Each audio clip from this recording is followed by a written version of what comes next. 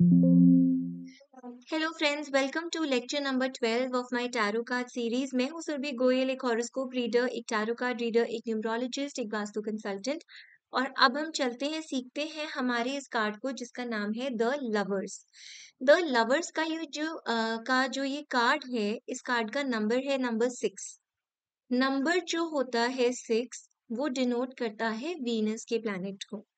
और वीनस से हमें क्या मिलता है? लग्जरी भी मिलती है फैमिली भी मिलती है और ब्यूटी भी मिलती है। सो वीनस सिग्निफाइज ब्यूटी कुछ लोग आपने देखा होगा ना कि बहुत फैशनेबल हैं, चाहे उनके पास रिसोर्सेस कम भी हों, तब भी जो भी नया ट्रेंड होगा, जो भी नई चीज़ें मार्केट में चल रही होंगी, उन्हीं रिसोर्सेज में से मैनेज करके वो कुछ ना कुछ ऐसा बना लेंगे, हमेशा स्टाइलिश लगेंगे। So Venus is beauty fashion जो भी हमारी लाइफ में ये सारी अच्छी चीज़ें आती हैं, कार व्हीकल अच्छा घर, ये सारे जो लग्जरीज होते हैं, ये भी हमें मिलते हैं वीनस से। उसके बाद हमारी फैमिली लाइफ फैमिली का लाइफ मतलब कुछ भी हो सकता है। हमारे पेरेंट्स हो सकते हैं, हमारे सिबलिंग्स हो सकते हैं या फिर हमारी रोमांटिक रिलेशनशिप हो सकती है मतलब हस्बैंड वाइफ की रिलेशनशिप गर्लफ्रेंड बॉयफ्रेंड रिलेशनशिप ये सारी चीज़ें वीनस से डिनोट की जाती हैं। यहाँ पे इस कार्ड में आप देखेंगे जो बैकग्राउंड है, वो बैकग्राउंड बिल्कुल येलो है और ये कार्ड भी बहुत ज़्यादा पॉजिटिव कार्ड है। इसलिए यहाँ पे आप बोल सकते हैं कि इस पर्सन को लग्जरीज भी मिलेंगी, इस पर्सन को कंफर्ट्स भी मिलेंगे और रोमांटिक लाइफ का ही स्पेशली ये कार्ड है तो वो भी अच्छी जाएगी। ये देखिए, यहाँ पे ये सन है। ये आप देखेंगे ना तो ये सन है और ये जो सन है, इतनी ब्राइट और इतनी लॉन्ग रेज इस सन से निकल के आ रही है। सन की जो रेज हैं, वो बहुत ज़्यादा लॉन्ग रेज हैं। और वो येलो इन्वायरमेंट में लॉन्ग रेज है। इसलिए यहाँ से हमें ये दिखाई देता है कि एक नई बिगनिंग की शुरुआत हो सकती है। जब भी सूरज उगता है तो एक नया दिन शुरू होता है। आपका जो दिन है वो खत्म कब होता है? जब सूरज डलता है और हिंदू शास्त्र के हिसाब से तो जो हमारा नया दिन है वो 12 बजे नहीं शुरू होता। हमारा नया दिन सूर्योदय से स्टार्ट होता है। So as soon as there is a sunrise, the new day begins. और तभी एक नई चीज़ की शुरुआत होती है। तो इसलिए आप बोल सकते हैं इस कार्ड में लग्जरी फैमिली ये सब चीज़ों के साथ साथ ये न्यू बिगिनिंग्स का भी कार्ड है। यहाँ पे आपको अच्छी सी फेरी दिख रही है है ना? ये गॉड फेरी दिख रहे हैं और इनके विंग्स हैं। ये गॉड फेरी भी है यहाँ पे और इनके विंग्स भी हैं यहाँ पे।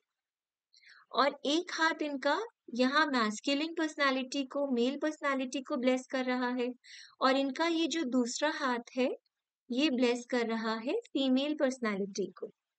इसलिए यहाँ पे गॉड की ब्लेसिंग्स आपके साथ बहुत ज़्यादा है। आप जो काम चाहेंगे वो फुलफिल कर लेंगे। You will easily be able to fulfil whatever you desire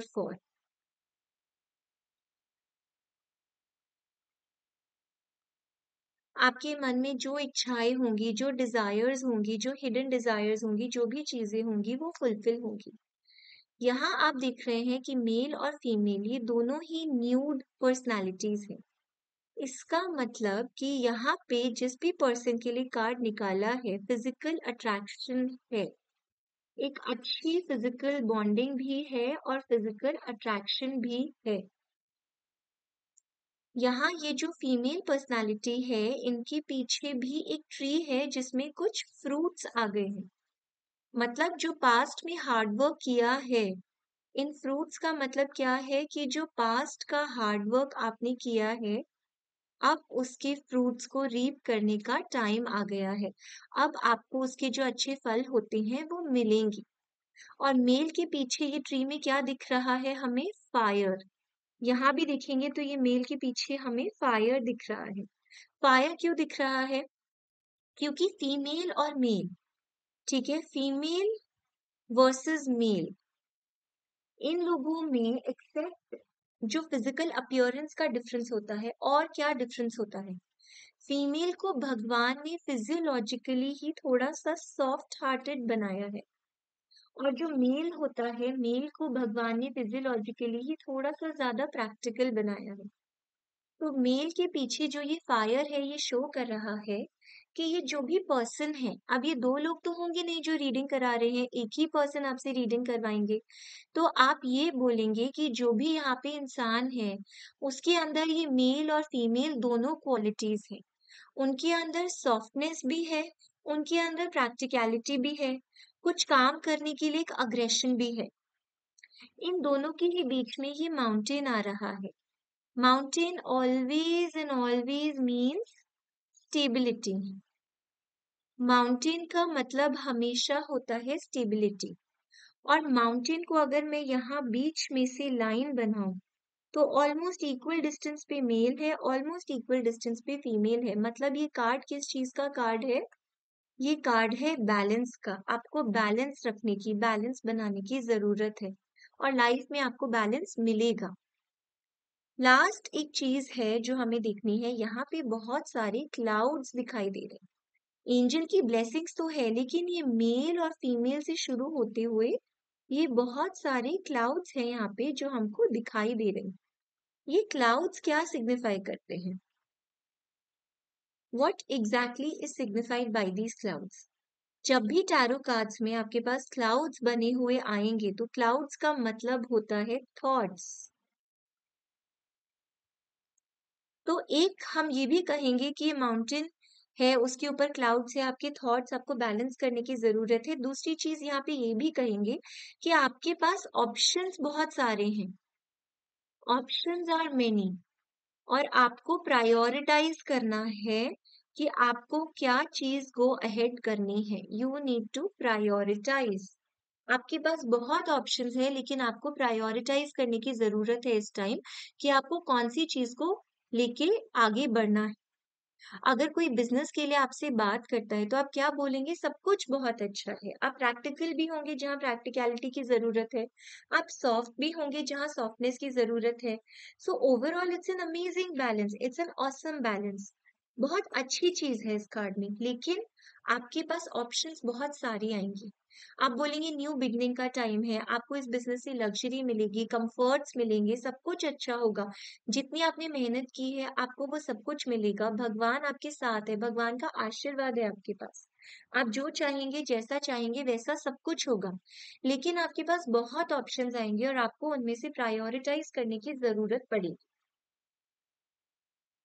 अगर आपने प्रायोरिटाइज नहीं किया तो आपको प्रॉब्लम होगी। So please remember this is one of the key words your options are too many you have to prioritise कभी कभी ये कार्ड एक्स्ट्रा मैरिटल रिलेशनशिप को भी दिखा सकता है।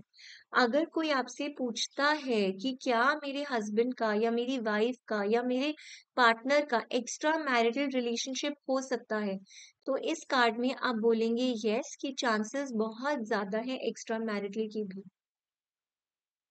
ये बहुत अच्छा कार्ड है। आपके पार्टनर फिजिकली अट्रैक्टेड हैं आपसे, लेकिन अट्रैक्शन के चांसेस भी बहुत ज़्यादा बनते हैं इस कार्ड में। अब डायरेक्टली आप अपने क्लाइंट को बोलेंगे तो उनको बहुत हर्ट होगा and everybody is not brave enough to be able to take such things इसलिए आपको उन्हें क्या समझाना है?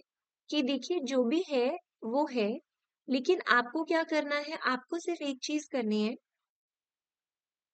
आप आ, हो सकता है कि आपके स्पाउस का या आपके पार्टनर का जो ध्यान है थोड़ा इधर उधर भटके लेकिन आपको कोशिश करनी है कि आप दोबारा से उस ध्यान को अपने पास खींचकर ले आए।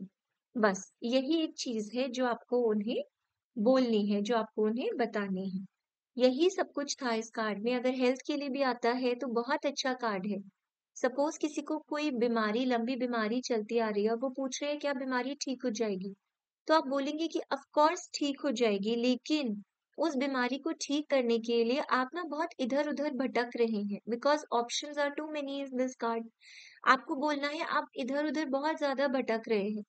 कभी कभी होता है ना कि हम हर डॉक्टर के पास चले जाते हैं और हर तरह की दवाई खाने की कोशिश करते हैं। तो बस वही नहीं करना है। एक जगह जाइए have faith in one doctor in one treatment in one type of medication उसे फॉलो कीजिए। बहुत ब्राइट चांसेस हैं। भगवान आपको ज़रूर हेल्प करेंगे in overcoming your problem and soon you are going to be in a very good state of health इसी तरह से कार्ड जिस भी तरह के क्वेश्चन के लिए आता है, आपको कॉन्टेक्स्ट समझ के कार्ड को हर तरह से इंटरप्रेट करना है उस कॉन्टेक्स्ट में। क्वेश्चंस आपके पास कुछ भी आ सकते हैं, आपको ये समझना पड़ेगा कि कार्ड आपसे कहना क्या चाह रहा है। बस एक बार अगर आप ये समझ जाते हैं कि कार्ड एग्जैक्टली exactly आपको क्या बता रहा है देन आपको अच्छी तरह से समझ आ जाता है कि कोई भी क्वेश्चन है, अब इस क्वेश्चन को हमें इंटरप्रेट कैसे करना है अपने क्लाइंट के लिए। Thank you so much this was all about my lecture number twelve अगर आपको लेक्चर अच्छा लगा please like share and subscribe और अब मैं आपसे मिलूँगी अपने नेक्स्ट लेक्चर में. Thank you so much